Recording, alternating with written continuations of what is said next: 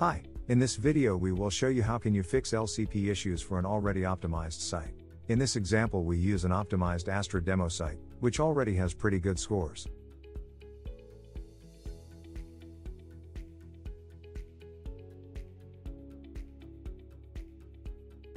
The desktop score is perfect, but if we check the mobile results, we can see ELCP is high.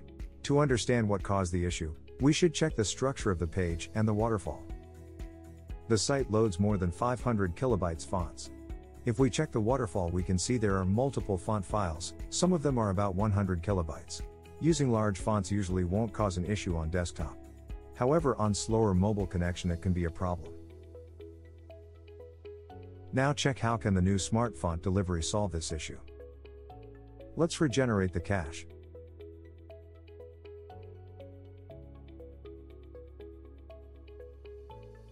Now check the scores again.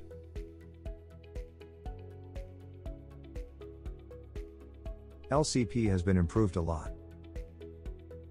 Check GTmetrix again.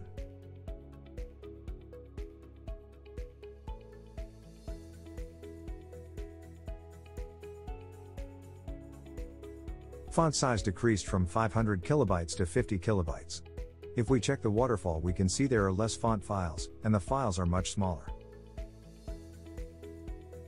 Smart Font Delivery will load optimized font files, to speed up loading and rendering the above the fold content. With this feature you can fix common LCP issue for mobile. Thanks for watching.